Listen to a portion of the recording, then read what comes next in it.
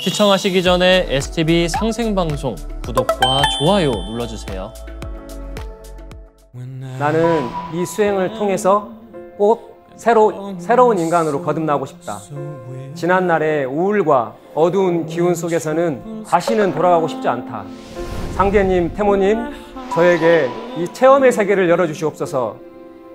그 기도가 끝나자마자 하늘에서 목련꽃 같은 꽃들이 빙글빙글 돌면서 상제님, 태모님, 평생을 남을 위하여 가난하고 병든 자를 위하여 헌신하신 저희 어머니 꼭 살려주십시오. 저희 어머니에게 새 생명을 내려주십시오. 제가 꽃 자체가 되어 어머니의 백회를 타고 어머니의 몸 내부 안으로 들어가서 꽃을 섬세하게 심었습니다. 그 다음날 의료진이 어머니를 정밀검사를 다시 해보고 놀라운 일이 벌어졌습니다. 안녕하세요. 저는 전주 경원도장에서 구도의 길을 걷고 있는 한정원 도생입니다.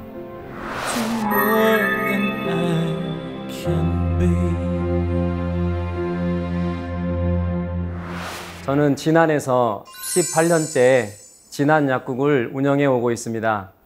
저의 고향이 또한 진안인데요. 진안에서 한참을 더 들어가야 되는 오지의 시골 마을에서 칠남매 중에 막내로 저는 태어났습니다. 제가 태어났을 때 6개월 만에 어, 이름 모를 병에 걸려서 뼈만 남고 아무것도 먹지 않는 상태가 되었는데 저희 어머니께서 저를 업고 진안 읍내에 아주 용하다는 무속인 할머니에게 가서 어, 사연을 여쭈니 그 할머니께서 저의 얼굴을 보시고 이 아이는 산신 기운을 받은 아이라 마이산에 가서 기도를 해야 낫는다 하셨습니다. 다음 날 저희 어머니께서 재물을 준비하고 마이산에 가서 기도를 올리고 다음 날 아침에 기적적으로 제가 어머니의 젖을 빨고 물도 마시면서 생기를 회복하여 살아날 수 있었습니다. 그 뒤로 저희 어머니는 저를 볼 때마다 너는 마이산 산신님이 살려주셨다. 그래서 해마다 마이산에 가셔서 기도하시고 현재 저도 또한 전주에서 진안으로 출근을 할 때마다 마이산을 바라보며 감사의 기도를 올리고 있습니다. 어머니께서 참 영이 밝으신 것 같아요. 네, 저희 어머니는 무속인입니다. 어릴 때부터 저는 어머니의 등에 업혀서 어, 어머니가 하시는 일을 보고 자랐습니다. 죽은 아이를 살리는 모습도 봤고요. 병든 자를 고치는 것도 보고, 그리고 어떤 사람이 언제 죽는지 어머니는 방에 앉아서 훤히 보셨습니다. 어느 날 무주군에 있는 어느 시골 마을에 어머니께서 의뢰인을 찾아갔는데 너무나 가난한 집이었습니다. 어머니께서 그 집에서 밤을 지새우며 기도하고 구슬하고 돌아오시는데 너무 없이 사는 집이어서 그 집에서 쌀과 재물을 수고비로 주셨어요. 근데 저희 어머니께서 그거를 도로 그대로 주시면서 나는 괜찮으니 이 음식과 쌀을 먹어야지 자네가 복을 받네. 너무 그날 그 가난한 사람을 보면서 불쌍해서 눈물이 나더라. 저한테 그렇게 이야기를 하셨습니다. 어머니는 그렇게 평생을 선한 무당으로 살아오셨습니다. 그런 어머니의 음덕으로 제가 증산도를 만나 신앙하고 있는 것을 저는 깨닫고 있습니다. 예, 과연 어머니 음덕으로 상계임 진리를 만난 것 같은데요. 정산도와의 만남도 특별할 것 같습니다. 소개 좀 해주시죠. 제가 약대를 나왔는데요. 어, 대학 때 백혈병 하구 돕기 운동이 일어났습니다. 저희 학교에 두 명이 백혈병이 걸렸는데요. 학교 교정에 플래카드로 그 걸려있는 그 모습을 보면서 어, 저도 모르게 저 아이들을 돕고 싶다라는 생각이 들었습니다. 그래서 어, 무슨 용기인지 노래를 불러서 돈을 모아야겠다. 자선 공연을 해야겠다라는 생각이 들어서 김광석 노래를 한 달간 준비를 하고 약대 지하실 대강당에서 공연을 준비하고 있었습니다. 그런데 공연을 5일 정도 앞두고 나서 목이 어, 너무 안 좋아서 노래가 안 나왔습니다. 당시에 약대 후배 중에 증산도 수행을 하는 후배가 있었는데 제가 아무리 약을 먹어도 낫지를 않으니 너무 걱정이 돼서 그 후배한테 찾아가서 증산도 수행으로 내 목을 나을 수 있니? 그분이 이제 증산도 학생회 동아리방으로 저를 데려가서요. 30분 정도 태울주 신유를 해줬습니다. 30분이 지나고 나서 그분께서 어떠냐고 물어보니 목이 좀 맑아졌어요. 그래서 동아리방에서 연습을 해보고 다시 알려드리겠다고 했는데 돌아와서 노래를 불러보니 제가 어떤 노래도 부를 수 있는 초고음일 그런 목소리가 나오는 거예요. 자신감에 충만해서 공연을 무사히 마치고 수백 명의 사람들이 모- 모이고 또 100만 원 넘게 30년 전에 100만 원이면 큰 돈인데요. 그 아이들한테 백혈병 화구들에게 자선금도 드리고 그리고 도장에 가서 21일간 정성 공부와 수행을 했습니다. 그 수행을 하면서 매일매일 밤마다 척신 기운이 찾아와서 저의 가위를 누르고 목을 눌렀습니다. 그런데 왠지 싫지가 않은 거예요. 나와 혹시나 나의 조상님의 원과 한이 당신들의 마음속에 있는 거라면 기꺼이 누르십시오. 증산도를 꼭 하고 싶습니다.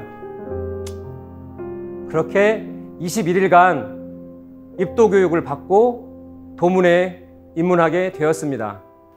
처음 입도할 때부터 이제 수행 체험을 아주 제대로 하신 것 같습니다. 네, 어, 근래에는 빛꽃 선정화 수행을 아주 열심히 하잖아요. 네. 어, 처음 이 설료화를 받았을 때 어떠셨나요? 설례와 수행, 기초 수행 단계에서 두 달간은 낯선 용어들과 이 수행 과정을 이잘 이해가 안 돼서 너무 힘들었습니다. 아, 보이는 것도 없고, 체험하는 것도 없고, 뭘 어떻게 해야 할지도 모르겠고, 그런 시간 속에서 약국에서 퇴근하고 집에 와서 수행을 하다 보면 졸리고, 그런데 그때 제 마음속에 품은 생각이 있었습니다. 나는 이 수행을 통해서 꼭 새로, 새로운 인간으로 거듭나고 싶다. 지난 날의 우울과 어두운 기운 속에서는 다시는 돌아가고 싶지 않다. 내가 지금 아직은 잘 보이지 않지만 반드시 이 수행의 세계에서 깊은 체험을 해서 새롭게 거듭나고 싶다라는 생각이 그 열망이 뜨거웠습니다. 그래서 매일매일 집에서 한 시간 수행을 하고 약국에서는 시천주, 태울주 음악을 틀으면서 하루 종일 그렇게 집중을 하면서 체험은 없지만 그렇게 근무를 했습니다. 설료화를 받던 날 아, 밤에 아무것도 안 보이니까 너무 서럽더라고요. 저도 모르게 제 안에서 기도가 나왔습니다. 정말로 다시 태어나고 싶습니다. 상대님, 태모님, 저에게 이 체험의 세계를 열어주시옵소서.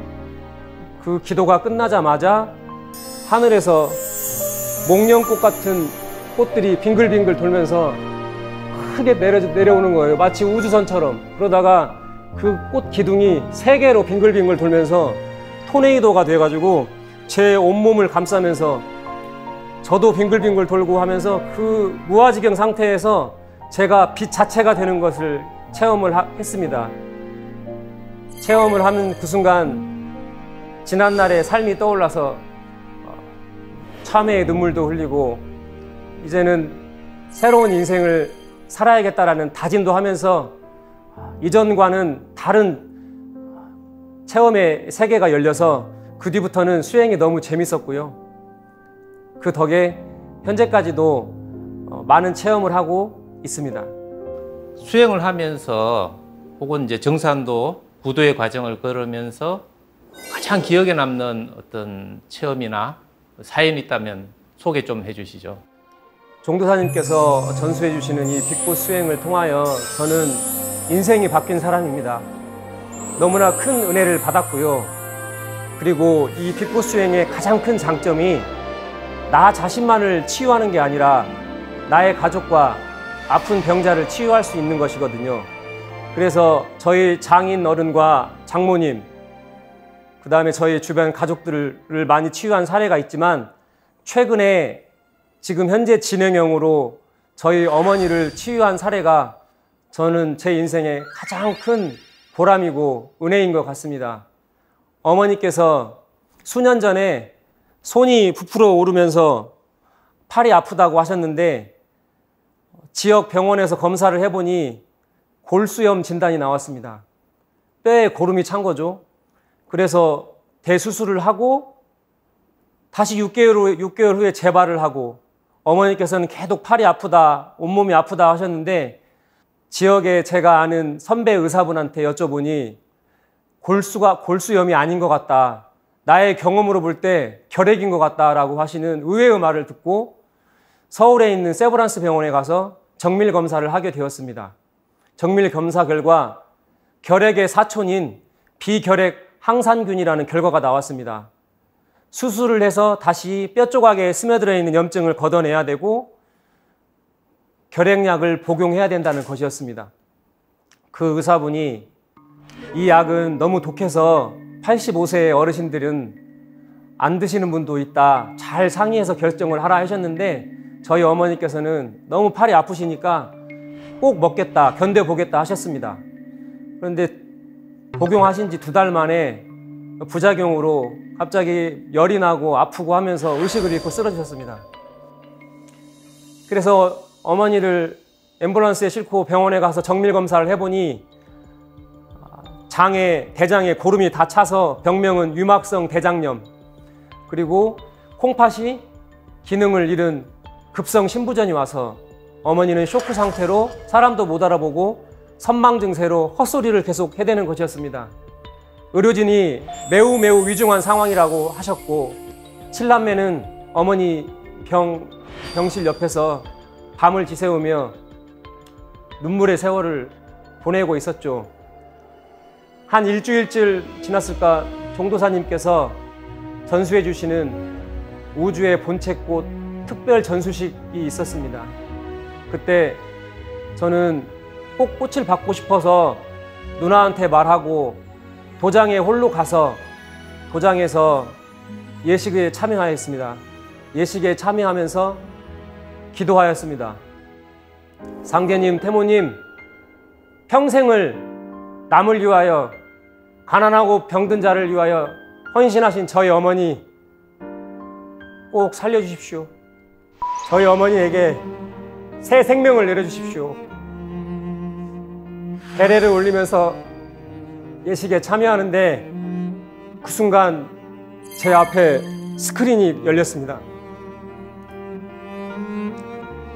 병실이 보이고 병실 문을 열고 저희 어머니 병실에 종도사님께서 오셨습니다. 영으로 오신 건데요. 갑자기 저희 어머니의 그 손을 꼭 잡으시면서 이제 일어나셔야죠. 그 한 말씀을 하시면서 꽃을 심어 주시더라고요. 그래서 제가 도장에서 혼자 엉엉 울면서 수행을 마치고 다시 병실로 갔는데 어머니는 여전히 의식이 없었고 나아진 건 하나도 없었습니다. 그 다음 날 어머니를 병실에서 지키던 저희 큰 누나께서 꿈을 꾸는데 병실 창가 쪽에 무지개가 떴는데 갑자기 무지개가 꽃이 되어서 저의 어머니 몸속으로 들어오면서 어머니 손에 약병 하나가 있었는데 그 약병에 한약 같은 것이 있어서 어머니께서 벌컥벌컥 마시는 모습을 봤다고 하셨습니다. 그게 우리 수행 과정에서 나오는 타인을 치유할 때 쓰는 방법이었는데 증산도에 증자도 모르는 저희 큰 누나가 그런 꿈을 꿨다고 하니 너무나 신기하고 한편으로는 기대, 기대도 되었습니다. 그 다음날 의료진이 어머니를 정밀 검사를 다시 해보고 놀라운 일이 벌어졌습니다. 모든 염증 수치, 신부전도 다 나왔고 모든 수치들이 정상을 가리키고 있었습니다. 어머니는 저를 알아보셨고 여기가 어디냐? 병원에 내가 왜 있냐? 그렇게 어머니가 누워서 의식을 회복하고 그 후에는 어머니가 너무 연세가 많으시니까 계속 눕고 생활해야 되니 의료진들은 요양병원 입원을 권했는데요.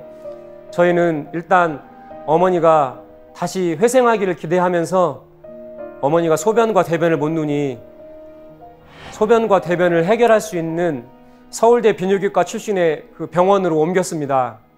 그 병원의 의사가 저희 어머니의 방광과 신장을 정밀 검사를 해보고 어머니의 신장 방광의 상태는 제로다고 하셨습니다.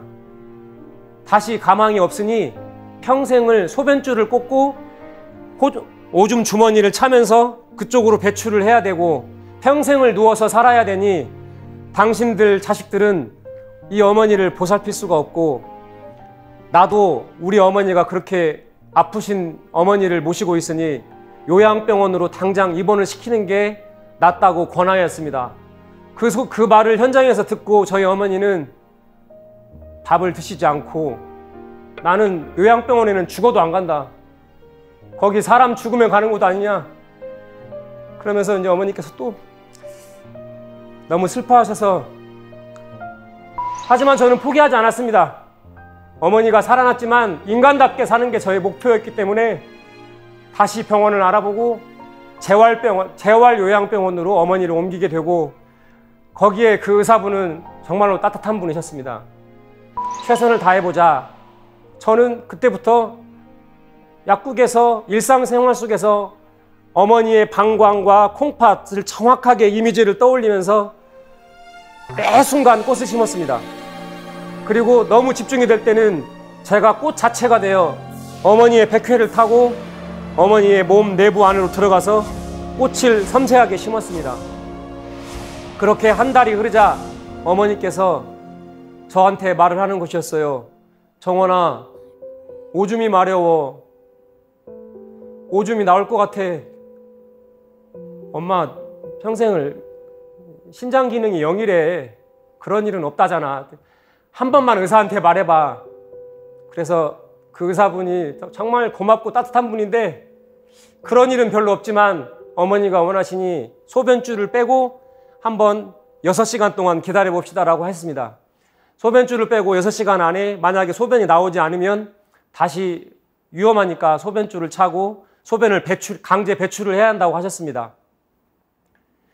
비가 추적추적 내리는 날 아침 6시에 어머니께서 소변줄을 처음으로 빼고 기저귀를 차고 저희 가족들은 병실에서 대기하고 있었습니다. 저는 약국에 출근해서 어머니의 식무장과 방광의 요도에 꽃을 심고 집중을 하는데 어머니의 방광 쪽이 훤하게 보이는 거예요. 그래서 아, 잘 되겠다라는 확신이 들어서 계속 기도를 했습니다. 꽃을 심고. 다섯 시간 후에 병원에서 전화가 왔습니다. 정원아, 어머니가 소변을 누고 계신다. 그래서 뭐 박수도 치고 어떻게 이런 일이 일어날 수 있나라고 해서 저는 다시 생각해도 그때 그 감동과 그 고마움, 감사함이라면 이루 말할 수 없어서 이게 바로 상계님, 태모님과 종도사님께서 전수해 주신 빛꽃의 은혜라고 생각해서 지금도 항상 감사하게 생각하고 있습니다. 그 뒤로 어머니 병세는 더 호전이 되신 건가요? 네, 그 뒤로 어머니는 병실에서 기적 같은 할머, 할머니고 1등 할머니라고 그 말을 듣고 어머니가 나는 이제 자리에서 일어나서 걷고 싶다고 하셔가지고 그 원장님이 그 물리치료 프로그램으로 한 걸음 한 걸음 내딛는 훈련을 하기 시작했습니다. 소변이 나오는 것도 고- 감사할 일인데 한 걸음 한 걸음 아장아장 걷다가 한 달 만에 보행이 가능하게 되었습니다.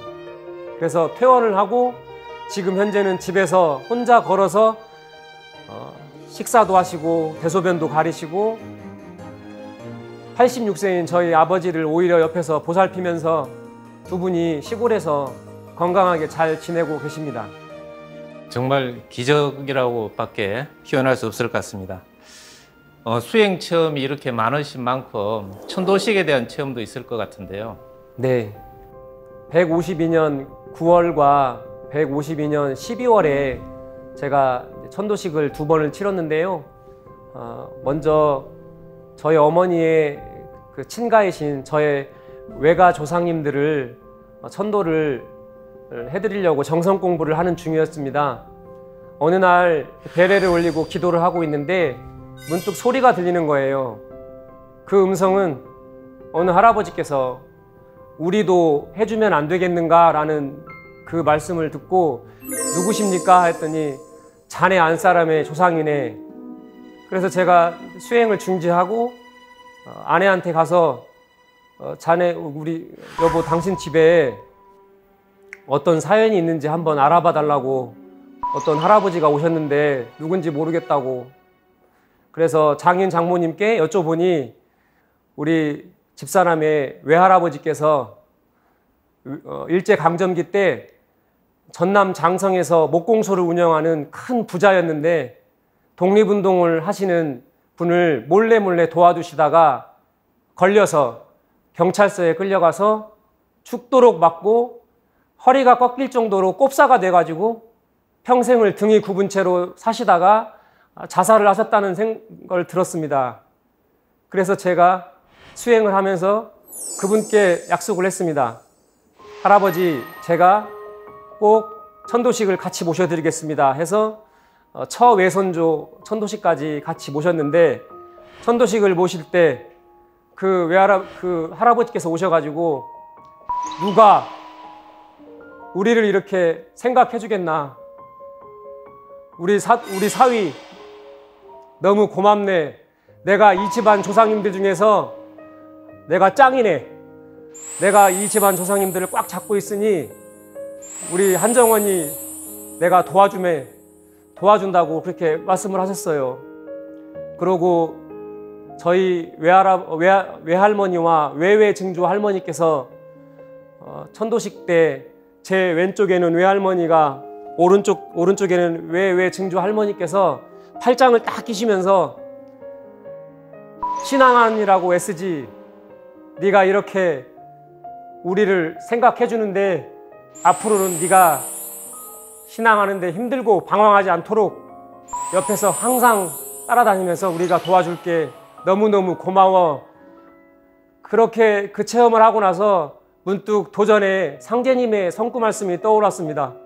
선영신이 짱짱해야 나를 따르게 된다. 선영신이 약하면 척신의 손에 이끌려서 나의 도를 따르지 못한다 라는 말씀을 크게 절절하게 깨닫는 계기가 되었습니다. 절교 암송하는 성구가 있다면 소개 좀 해주시죠. 네, 제가 도전 3편을 좋아합니다. 도전 3편에는 상제님을 따랐던 수많은 성도님들의 어, 입도 과정 그리고 그분들의 말과 행동 그다음에 약속 모든 애완이 담겨져 있어서 어, 저의 구도에 큰 밑거름이 되고 있습니다. 그 중에서 3편 97장에 나오는 말씀을 제가 좋아하는데요. 오장 제거 무비초하고 호치 갈래 총시환이라. 싫다고 배워버리면 풀 아닌 게 없고 좋다고 취하려 들면 모두가 꽃이니라. 말은 마음의 소리요 행동은 마음의 자취라. 말을 좋게 하면 복이 되어 점점 큰 복을 이루어 내 몸에 이르고 말을 나쁘게 하면 화가 되어 점점 큰 재앙을 이루어 내 몸에 이르느니라. 또한 태사부님께서는 사람이라는 것은 말과 행동을 뜯어먹고 사는 존재라 하셨습니다. 바로 이러한 말과 행동의 이 조심스러움에 대해서 저는 부도의 과정 속에서 항상 저의 이정표로 삼고 있습니다. 앞으로 상제님, 태모님께 천지 1월께 보은하는 참된 일꾼이 되겠습니다. 보은. 네, 마지막으로 대학 다닐 때 콘서트를 열 만큼 노래를 잘 하신 것 같은데 한곡 청해 들어도 될까요? 제가 어, 방송을 보시는 모든 분들께 그 소망이 이루어지기를 바라는 마음으로 뮤지컬 영웅의 장부가 끝부분을 후렴구로 불러드리고 싶습니다. 장부가 세상에 태어나 큰 뜻을 품었으니 죽어도 그 뜻 잊지 말자. 하늘에 대고 맹세 해본다. 하늘이 시여 도와주소서 우리 뜻 이루 하늘이 시여 지켜주소서. 우리가 반드시 그 뜻을 이룰 수 있도록